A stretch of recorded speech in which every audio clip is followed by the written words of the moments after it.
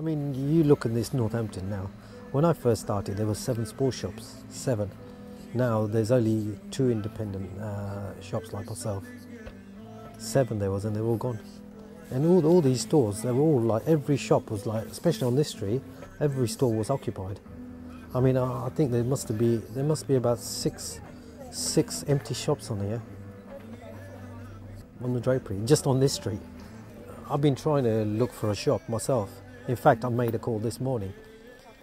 The estate agents as well, they don't seem as if interested. You know, a matter of times, like today, I've left countless messages for uh, for them to ring me back. There's a shop that I'm possibly interested in uh, viewing, and all the times, wherever I've tried to open a shop, the estate agents, uh, the people who are doing it, they just don't seem interested, and you have to chase, chase, chase.